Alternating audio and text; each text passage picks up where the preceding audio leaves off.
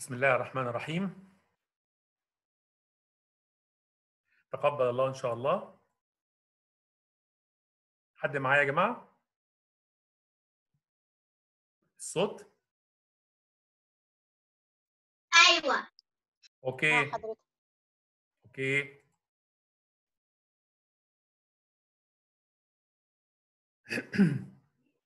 هحاول طبعا أنا طولت عليكم معلش في ال diagnosis والشرح طبعا ده بيسهل لي مأمورية بعد كده إن شاء الله. أستعمل مين في دول وإمتى وفين وإزاي. هو ده إن شاء الله الجزء اللي جاي وإن شاء الله ما يكونش طويل عليكم بإذن الله إن شاء الله.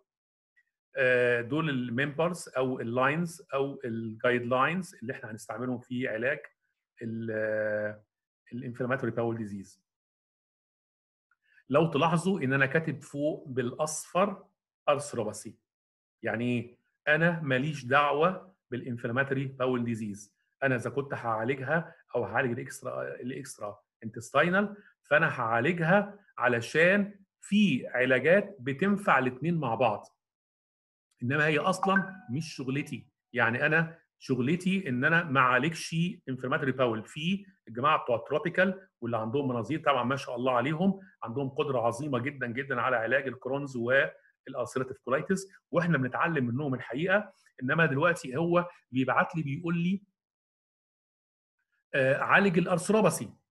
عالج لي العيان ده بيشتكي من arthritis أو العيان already جاي لي هو بيقول لي كذا وأنا إلى حد ما في remission في ال inflammatory bowel disease بس ال arthritis موجودة. ويمكن أنا قلت وأنا بتكلم على الأنواع بتاعتنا وكان إبراهيم قدامكم بيسأل بيقول لي هو ممكن نوع يتطور لنوع تاني أو أو وأنا قلت له آه ده ممكن يحصل لأن المرض نفسه في مع ال duration ممكن يمتد ويوصل لأماكن تانية كتير جدا وبالتالي مهم جدا إن أنا أعرف إن ساعات في بعض أنواع ال arthropathy بالذات ال spine واللي هو ال polyarticular ال aggressive ال erosive ده بيمشي في سكة لوحده ملهاش علاقة بال inflammatory bowel وبالتالي أنا ما اتخدعش وأقول خلاص ما دام الحمد لله ال bloody diarrhea وقفت والبطن هديت يبقى أنا كده في الأمان. لا أنت مش في الأمان.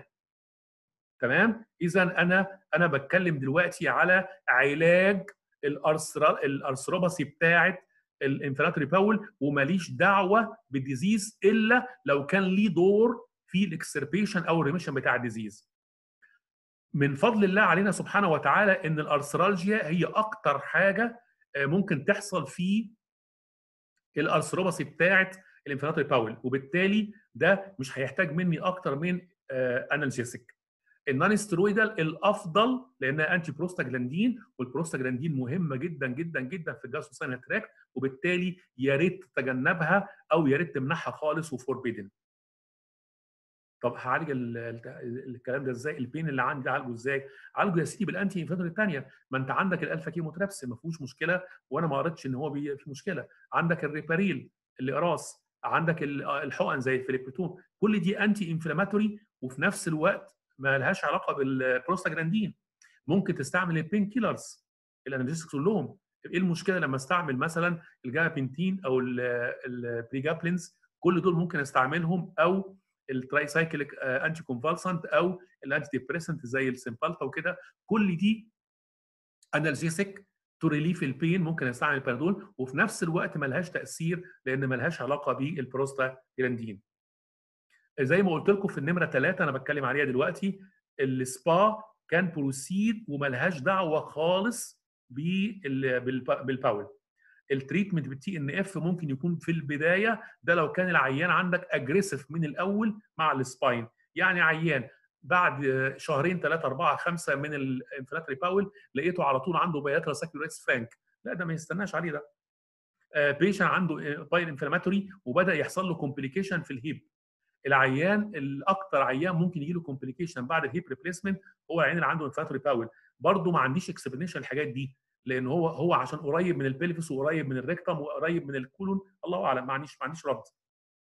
طيب هل أستعمل ال probiotics؟ برضه ما عنديش رد ما عنديش لغاية دلوقتي evidence-based medicine تثبت إن أنا لو اديت فلورا من عندي طبعا بتتباع في السوق دلوقتي هنشوف صور العلب دلوقتي علب ال probiotics اللي هي مجموعة البكتيريا المفيدة زي ما زمان كانوا بيدوا لأولادهم الخميرة بيرة علشان دي تصلح ال intestine بتاعته إذا كان عنده flatulence أو أو أو أو فما ده برضه نوع من ال probiotics هنا لا دلوقتي في كبسولات موجود فيها ال antibiotics دي موجود فيها آسف الفلورا دي ممكن يحصل لها rest down بس عامة زي ما قلنا قبل كده المحتل الأول هو دايما اللي بياخد المنظر. مكتوب هنا عندنا برضو إن ال monoarthritis is best treated by local injection بس اتأكد إن هو مش septic طيب في نقطة مهمة جدا جدا برضو الحقيقة لازم نحطها في اعتبارنا، أنا قلت إن أنا ما بعالجش ال inflammatory bowel. طيب أنت صح متشكرين جدا، وبعدين؟ وبعدين أنا ما ينفعش كمان أعالج ال arthritis من غير ما أعالج ال bowel. يعني إيه؟ تعالجه أنت ولا تخلي الراجل بتاع ال tropical هو اللي يعالجه؟ هو اللي يعالجه أنا اللي أعالجه مش دي قضيتي. أنا لا يمكن أحط إيدي في العيان ك arthropathy غير لما أطمئن إن حصل remission و subsidence لكل ال inflammation اللي في ال bowel ليه؟ أنا مش عارف النوع اللي عندي دون. أنا آه قسمت على قد ما أقدر زي ما إبراهيم كان بيناقشني دلوقتي بيقول لي أنت قسمت لنا التقسيمة دي يا جماعة flexible جدا جدا جدا. مش ممكن تعالج عيان عنده arthropathy of inflammatory bowel من غير ما تعالج ال inflammatory bowel يا إما تعالجها أنت يا إما تبعتها لواحد بتاع tropical يعالجها يا إما أنت كان عندك القدرة مثلا وشايفها إنها بسيطة والتقرير اللي أنت قريته كان كويس ما كانش مقلق قوي والتقرير بتاع ال colonoscopy كان هائل وال Salazopyrin عمل control خلاص أنت ممكن بتغطيها. إنما لو أنت مش عايز تغطيها وشايف الموضوع ممكن يحتاج بتاع ال tropical why not خليه يعالج هو وبعد ما يقول لك إن الجهاز الهضمي بتاعي بقى إلى حد كبير بقى controlled واخدين بالكم؟ هنا اللي هيتبقى عندك كمية صغيرة. يعني لو عندك مثلا 10 عيانين وبعدين كلهم عندهم activity في ال inflammatory bowel لو أنت عالجت ال10 وال bowel بتاعتهم بقت هادية جدا جدا هتلاقي الثمانيه دول منهم خفوا لوحدهم مش محتاجين علاج. وبقى عيان أو اثنين اللي هم ال spinal وال polyarticular هم دول اللي لسه إلى حد ما ال arthropathy عندهم عالية وبالتالي اوعى تيجي جنب مفاصل العيان قبل ما تعالج ال inflammatory bowel وتقرر هتديله إيه. ال Salazopyrin is more frequently prescribed أكتر من ال mesalazine ودي إن شاء الله لما أتكلم على ال Salazopyrin في الآخر بإذن الله هوضح الفرق بين الاثنين إيه وليه ده بيستعمل وما بيستعملش لأن الحقيقة برضو اللي خلاني ضغطت على الحتة دي وحبيت أوضحها قوي إن لقيت فيه روشتات بتجيني ومكتوب فيها البنتازا والبنتازا ده اللي هو الميساسالازين الميسالانين والحقيقة يعني مش مكتوب صح. فاللي بيقول لي ما هو ده البديل بتاعه. لا لا لا لا لا لا, لا. الميسالانين الميسالازين ملوش علاقة ليه علاقة طبعا بالسلازوبايرين بس مش بديل. ده حاجة وده حاجة وده ليه indication وده indication وده إن شاء الله هيبقى آخر المحاضرة بإذن الله. إمتى تكتب ال Salazopyrin وإمتى تكتب اللي هو دلوقتي في المصري ال Colosalazine وفي بتاع بره اللي هو ال Salazopyrin وفي ال Pentasa اللي بيدوه هم أساسا بقى ال inflammatory bowel عشان يقللوا من الآثار الجانبية. دي ال key points عشان محمد بس العدل كان بيقول لي عايزين نقط تبقى يعني تساعدنا اتخاذ القرار. طيب اتفقت معاكم إن أنا عايز أعالج ال arthritis وإن أنا هعالج ال pain وإن معظمه arthralgia. برضه في نقطة مهمة جدا لازم قلت لك إنك تعالج تعالج ال bowel وتقول إن أنا ال inflammation بتاعه قل وال enteritis بقت control وبعدين شوف بقى مين هيبقى عندهم arthritis. مهم جدا برضه تحط السبعة ثمانيه extraintestinal اللي هم ال eye وال uveitis الجلد وال erythema مع ال pyoderma ال liver مع ال cholangitis ال neurology ال CNS وهكذا. اذا لازم تعرف ال extraintestinal لأن ممكن ده يحدد لك سكة العلاج. يعني أنا لو زي ما قلت لك قبل كده وده هتيجي في الآخر برضو إن شاء الله تاني. لما عيان يجي لي ب arthritis مع inflammatory bowel معاها pyoderma غير لما يكون معاها erythema غير لما يكون معاها uveitis uveitis لا هقوم من على المكتب وأعمل تعظيم سلام علشان أنا عندي permanent loss of vision عن طريق ال synechia اللي ممكن تتكون في ال iris أو في ال anterior uveitis وبالتالي العيان ده أقوم له تعظيم سلام وأعظم له. لما يكون عنده erythema طز. self limiting دي عبارة عن حبة induration موجود تحت الجلد. أسوأ ما فيه الألم اللي موجود عندك. إنما هي مؤشر قوي جدا ليك إن في something wrong extraintestinal واخدين بالكم؟ وبالتالي اوعى تنسى. زي ما قلت لك في ال arthritis. تشوف ال bowel وتفكر كمان في ال extraintestinal أنا مش شايف حاجة ذات أهمية هنا غير بس بيقول لي إن أنا هبدا ال biology from the start لو بدأ معايا severe spondylitis مع MRI وفيها sacroiliitis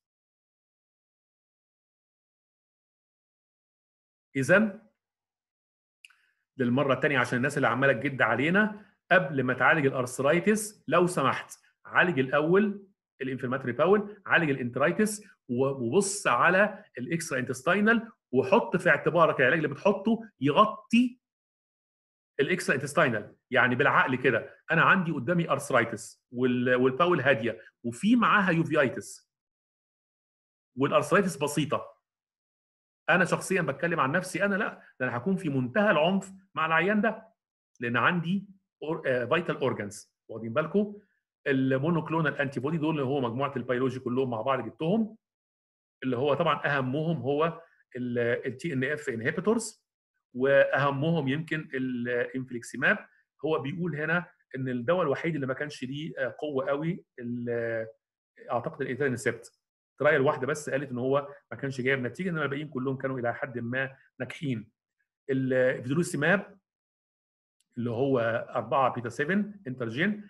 الحقيقة تأثيره على الإنفلاماتوري باول السباينال نوت نون بالنسبة للبروديليماب ومجموعة بتاعت الإنترليوكين 12 و23 فيلد ما كانوش ناجحين الحقيقة وما جابوش النتيجة اللي إحنا متوقعينها. يبقى أحسن واحد لغاية دلوقتي هو المونوكلونال انتي تي ان اف انتي بوديز الاوستيكوماب برضه فيلد الفونتريزوماب مع الأباتاسيبت برضه ان افكتيف أنت جبتهم ليه؟ أنا جبتهم عشان الترايل اللي اتعملت. يعني ما حدش يقول لي لا اصل في أدوية كتير بتنزل وبتاع. خلاص اللي اتعمل trial بيتكتب إن أنت ما, ما تحطوش في اعتبارك. عشان حتى لو حد قال لك والله يا جماعة في كذا كذا كذا قول له والله في trials كتير جدا اتعملت لا مش effective يبقى اللي هتستعمله والحقيقة أنا رجعت للجماعة بتوع ال tropical قالوا أنجح أدوية عندنا هي فعلا ال monoclonal TNF inhibitors هم دول أكثرهم تاثيرا على على فكرة بتكلم على المفاصل برضه ماليش دعوة بال inflammatory bowel سيب ال inflammatory bowel لاصحابه آدي اللي قلت لكم عليه ال probiotics و theoretically آه والله معقول جدا إن أنا لو قدرت أحط probiotics ولقيت أحط prebiotics ده ممكن يكون أكل أكل بيشجع على آه تعلية ال gut flora اللي هي المفيدة مش ال harmful. آه وفي آه زي ما شايفين في القوارير اللي قدامكم دي دي فيها بكتيريا بكتيريا اللي هي normal flora. اللي هي طبعا مش ال harmful لا اللي هي المفيدة. هل يجيب نتيجة؟ أنا الحقيقة عندي يعني يقين كده في الطب بستعمله. الحاجة اللي مش هتضر العيان الحقيقة أنا بستعملها. يعني إيه؟ عيان جاي بيقول لي أنا عايز آخد قرص النحل روح. هيخسر إيه؟ إيه اللي هيحصل يعني؟ مش هيجيب نتيجة. ما خسرتش. بس في نفس الوقت هبطل الزن بتاع العيان. أصل في زميلي خد قرص النحل وجاب نتيجة. أصل في زميلي عمل حجامة وتحسن جدا جدا جدا. أصل في زميلي مش عارف عمل إيه. يا عم روح. إيه المشكلة يعني؟ اعمل اعمل كابنج اعمل قرص نحل اعمل اللي أنت عايزه. أهم حاجة ما تاخدش دواء. ده اللي اهم عندي. ما تغيريش سكة العلاج بتاعتي وتحاسبني على حاجة أنا أصلا مش ماليش ذنب فيها. الحاجة الثانية ممنوع منعا باتا الاعشاب طب أنا هستعمل مراهم. زي ما أنت إن شاء الله يا رب تحط نفسك انبوبه مرهم وتدي نفسك كلك مفيش مشكلة عندي. أنا أهم حاجة عندي الأدوية اللي تخش للجي اي تي بتاعك أو طريقه عن طريق الحق. ده اللي مهم جدا ما تدخلوش. لو دخلتهم جسمك أنا غير مسؤول. أي حاجة تانية اعملها. جابت نتيجة متشكرين ما جابتش نتيجة أنا ما خسرتش. طبعا بيضاف إلى كده برضو الدفن في الرمل والكلام ده كله. ما تمنعوش العيان ما توجعش دماغك مع العيان تقول إن هو ممكن يجيب نتيجة أو ممكن يجيب نتيجة. أنت توجع دماغك ليه؟ جاب نتيجة أهلا وسهلا ما جابش نتيجة أنت ما خسرتش حاجة.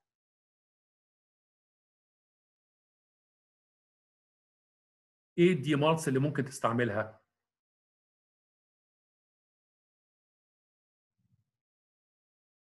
أستأذنكم بس عشان في ناس بتبقى عايز تخش في وسط.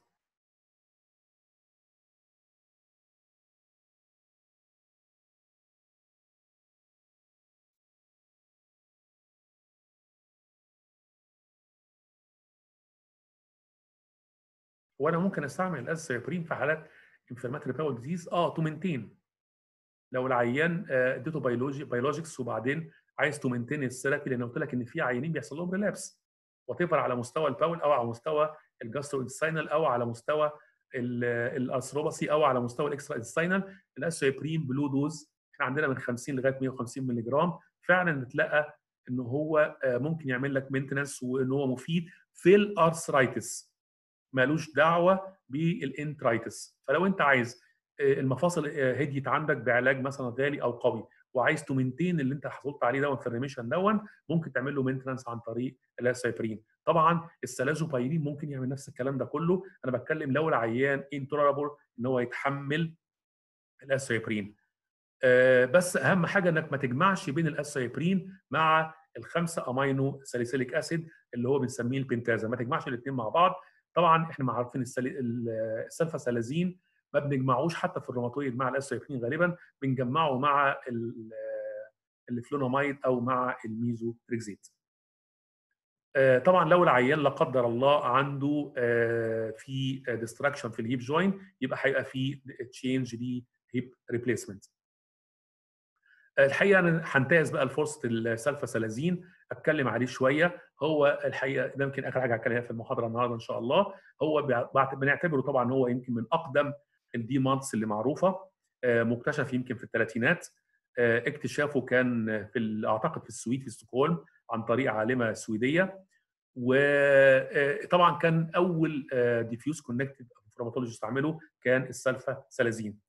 طبعا هو بيتكون من جزئين زي ما هنشوف دلوقتي في الصورة اللي جاية جزء anti-inflammatory وجزء anti-microbial وممكن استعمله في ال combination therapy زي ما اتفقنا.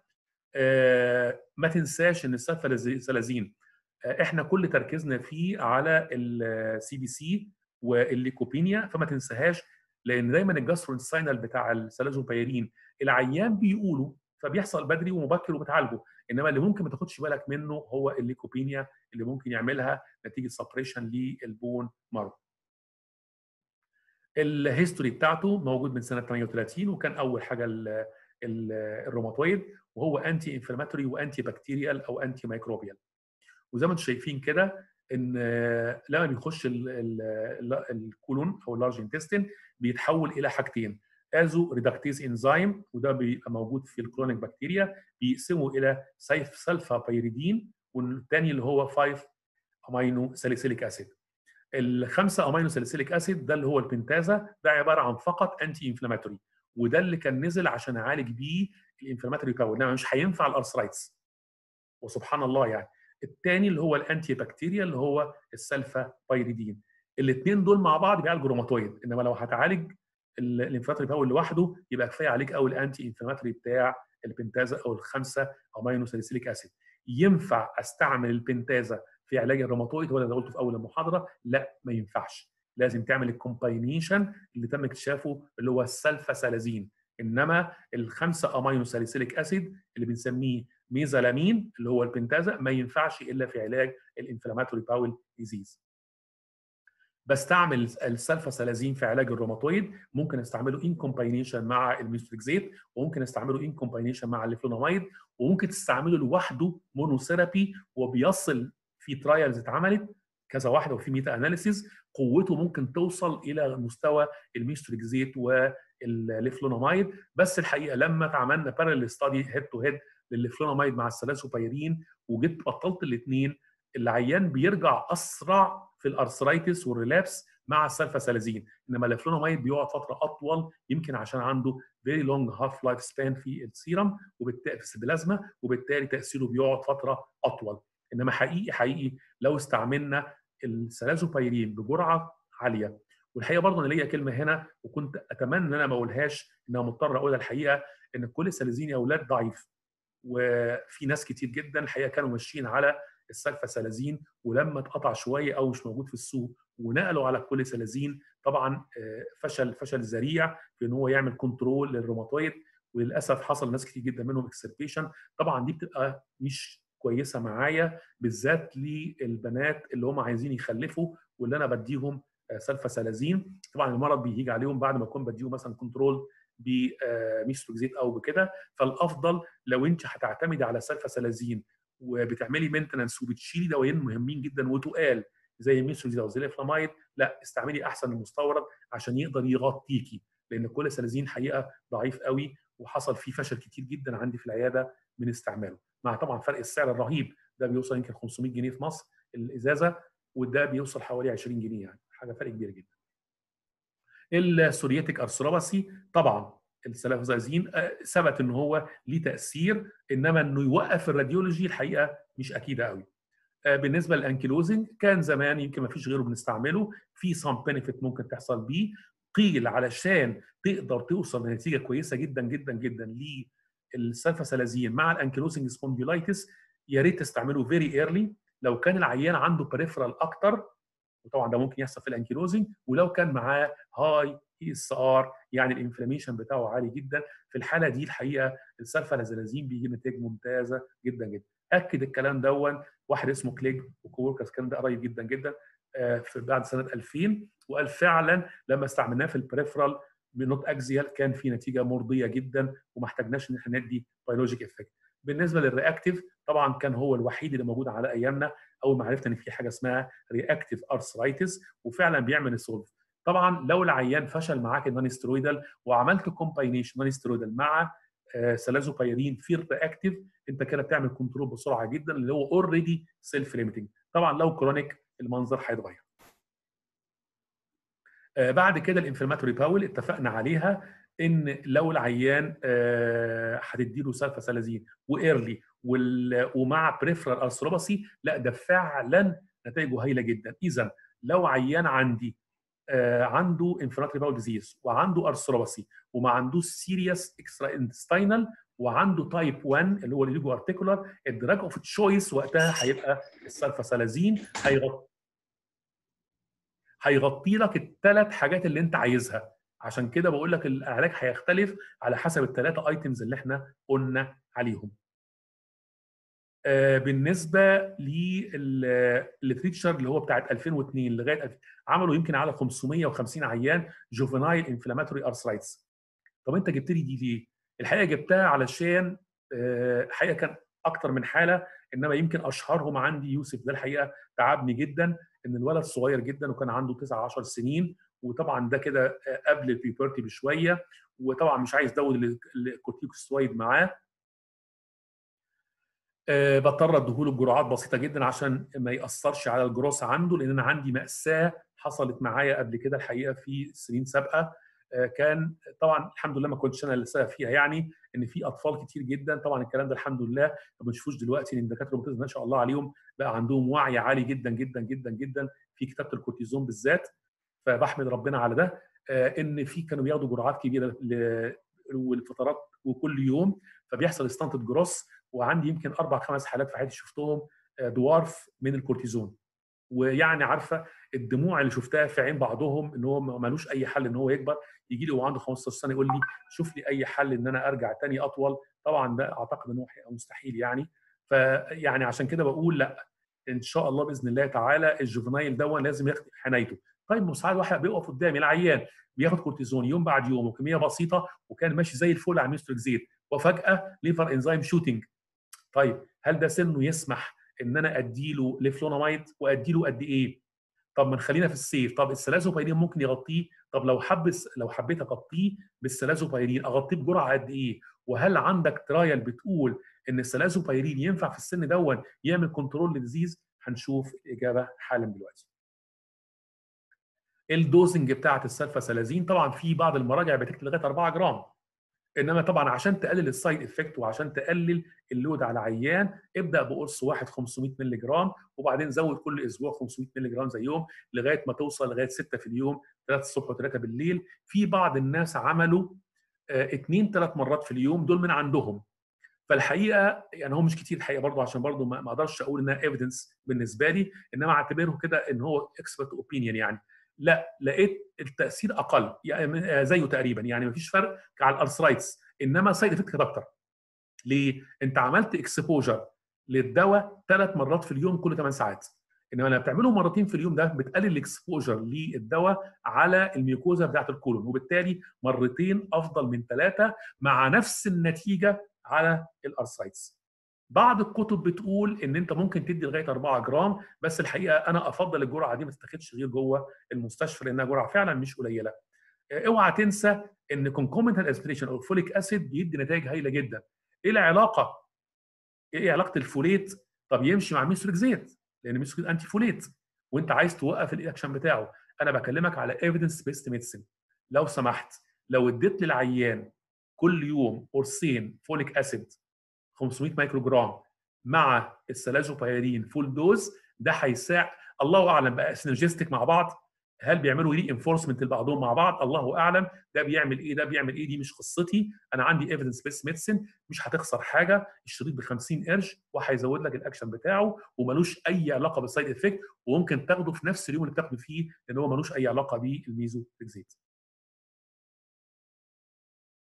ال geriatric طبعا نفس الجرعة بس خليك أبطأ في ال elevation بتاع ال crescendo بتاع الجرعة. يعني ابدأ ب 500 مللي جرام حتى لو تطلب الأمر تدي. على عامة طبعا ال elderly rheumatoid أخف كتير جدا جدا جدا من ال adult وأخف أكتر من الاثنين من ال juvenile وبالتالي ارفع بالراحة. إنما لو العيان طبعا ليه أنا كاتب renal insufficiency لأنه كتير جدا جدا في ال old age كتير منهم جدا جدا التحليل حتى بتاعهم اللي هو الكرياتينين بيعمل misleading إن عندهم ال muscle mass بتبقى قليلة جدا والتحليل بيبقى تقريبا طبيعي وهم عندهم insufficiency آسف. وبالتالي يا ريت لو سمحتوا العيان بتاع ال elderly اطمن بعد إذنك على ال renal function بس ما تطمنش بس بالكرياتينين لأنه مش كفاية لوحده. لا شوف حاجات ثانية طبعا أهمهم هيبقى ال glomerular filtration rate لو لا قدر الله في insufficiency ده محتاج منك adjustment لل dose لأن السلفاسالازين جزء منه بيبقى renal وبالتالي يا ريت نعمل adjustment للجرعة. يمكن أهم حاجة هتكلم عليها اللي هو ال pediatric dosing بتاع ال Salazopyrin. ابدأ من 10 ل 12.5 مللي جرام per kg per day الكلام ده كله تحت 16 سنة. طبعا يعني يعني أنا بعتبر الحقيقة 16 سنة دي كتير قوي وبعتبره adult إلى حد ما فبديله الجرعة الطبيعية. إنما أنا غمه الكلام ده بطبقه أكتر على الولاد الصغيرين اللي هو سن مثلا 5 8 10 آه لما يكون قرب على ال puberty أو ال menarche بالتالي برفع الجرعه شوية. ابدأ معاه ب 10 مللي جرام per kilo g مثلا لو طفل عنده 30 30 كيلو أو 40 كيلو بتكلم في 400 مللي جرام يعني قرص كل يوم.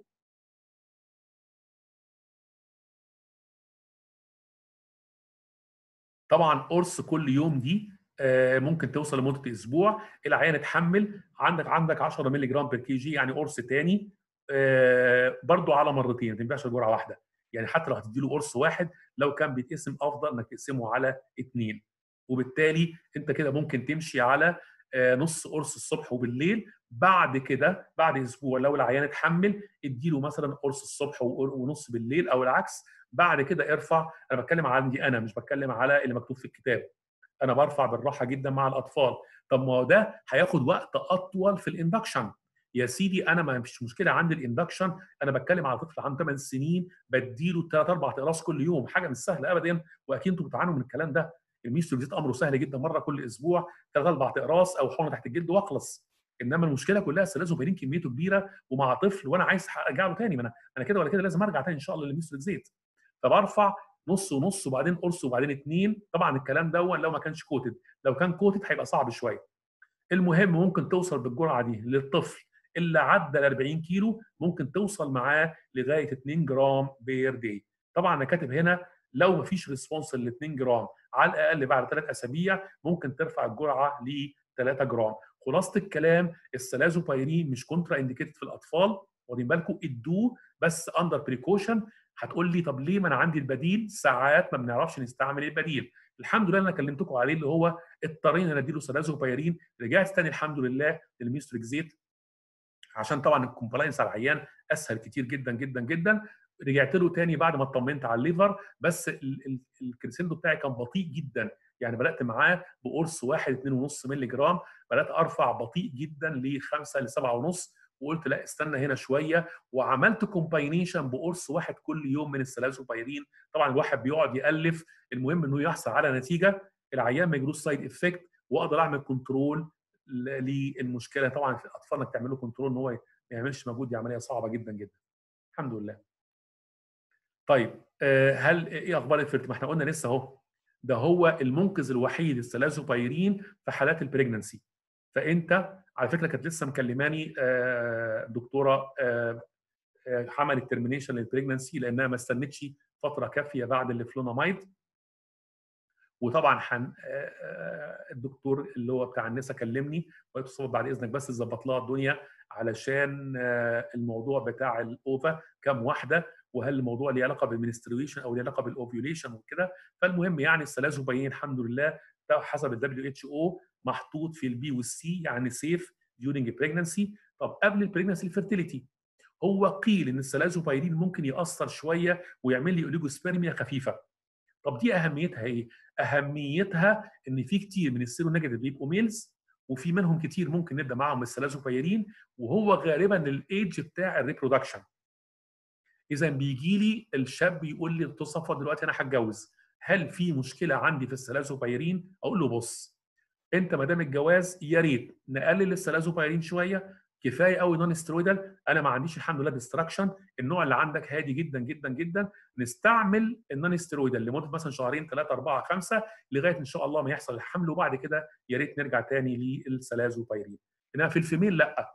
ده أنت من قبل الحمل وبعد الحمل وأثناء الحمل وفي آخر الحمل ووقت الولادة ادي Salazopyrin. ما عندكش أي مشكلة مع لا في ال fertility ولا التأثير على ومع إنه بي cross ال placenta ويبقى المستوى في في في ال fetus زي ال mother بالظبط ان مفيش خوف لا على ال mother ولا على الطفل.